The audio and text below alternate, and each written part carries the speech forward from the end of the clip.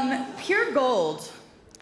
Not just a precious metal that people risk their lives for, but what you get when an ensemble cast blends perfectly together to bring to the big screen a film appropriately entitled Gold. Gold, inspired by actual events, is the epic tale of one man's pursuit of the American dream and everything he'll do to keep it from falling apart. Matthew McConaughey stars as Kenny Wells, uh, a man raised in the mining business and desperate for a lucky break. He teams up with a mythic geologist, played by Edgar Ramirez, and sets off on an amazing journey to find gold in the uncharted jungle of Indonesia.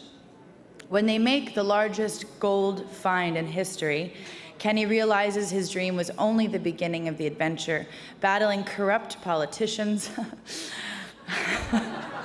Wall Street tycoons, and law enforcement, all of whom want to take it from him.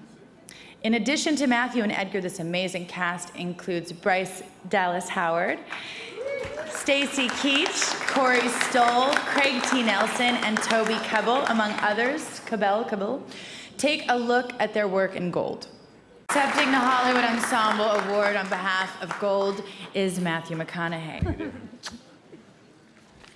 All right. Thank you, Kay. I can't even let that slip out anymore, can I? All right, all right, all right, yeah. There's always three of them. How's everybody doing tonight? Good deal. Um, well written characters, they give us, the actor, a space to inhabit. They give us a place to own. A place where we as actors don't really have to trespass on other actors' property until we do. And that's when we have conflict, which creates good drama. In Gold, we had the opportunity to create place in this story. All right, the journey takes Kenny Wells to multiple worlds. He's in the dusty bars of Reno, Nevada. He heads over to the jungles of Indonesia and then all the way back to the top floor in Wall Street.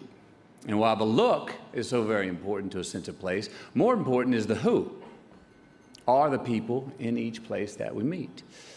From fiercely loyal friends and underdogs when we meet Kenny working out of a bar, to expatriates and pirates in the Far East, to slick and opportunistic money men and women on Wall Street. I'm going to say all of these are gold diggers of a different kind.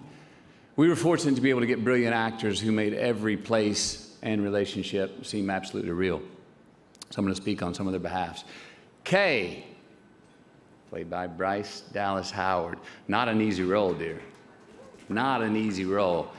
She boiled this down for her very early to a very simple thing. It was a love story for her. You've always said that between Kay and Kenny. Now, her Kay was someone who could love her man unconditionally, almost without judgment, and still be powerfully feminine, empowered, yet never the victim. You see, like 15 years ago in this story, Kenny said to Kay, he said, he said, look, hold my hand, we're gonna jump off this cliff. Don't let go. Before we hit the ground, we're gonna learn to fly. And 15 years later, they have not learned how to fly, but they haven't hit the ground yet. Thanks for holding hands on that one. Um, Mike Acosta, played by Edgar Ramirez. He was my brother in crime in this. Um, these are two down on their luck underdogs, yet from very different places. And they were bound by a silent secret that was sealed with a handshake. Uh, two men on a wing and a prayer by any means necessary, doing whatever it takes to stick it to the man and fulfill the promise that they made to each other. So I want to thank you, uh, Edgar, for keeping our secret, which, as we said, hey, if you keep a real secret, those two people can still be in a 10 foot dinghy in the middle of the Pacific Ocean 20 years after you've kept that secret. And if one person brings it up, the other one's going to say, I don't know what the f- you're talking about. That's really keeping a secret. Another, a great actor, a narrator, and a storyteller who had to embody decades of history between us in just a few scenes, Mr. Stacy Keach. Uh, Joshua Harto. I want to thank him for riding shotgun in my jockstrap. You understand what that means when you see the film. Craig T. Nelson, who really had to believably establish what a prospector spirit is about, had to create a sense of loyalty and family for Kenny Wells for the rest of the story. Uh, Bruce Greenwood, who was the only one wearing clothes in the scenes that we had together. Uh, Toby Kebbell, who kept his poker face the entire time that he was across the table from me. Macon Blair, uh, an actor who knows that honest behavior is a lot funnier than shtick. And one of the funniest men in America, week in and week out on Veep, Tim Simons. Corey Stoll, an actor who can inhabit any role there is. I want to thank him for improvising the offering Kenny a drink in a scene that has actually become one of my favorite scenes in the film. Bill Camp, who, besides getting kicked out of at least three good schools, is also in Midnight Special Loving as well as Gold this year, and is basically just an asset to any film and set experience that you're going to have.